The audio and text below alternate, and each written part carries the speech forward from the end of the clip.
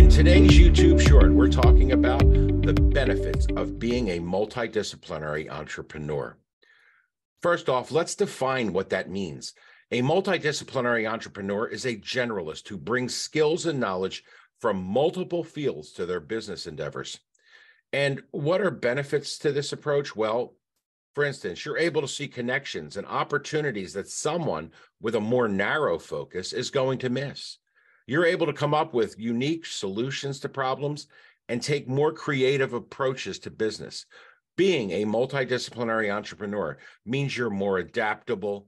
You can pivot your business when it's needed, and you can have a broader range of skills to draw on.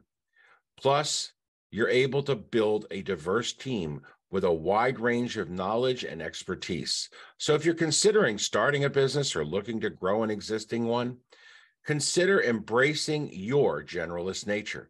If you do that, it could be the key to unlocking your full potential.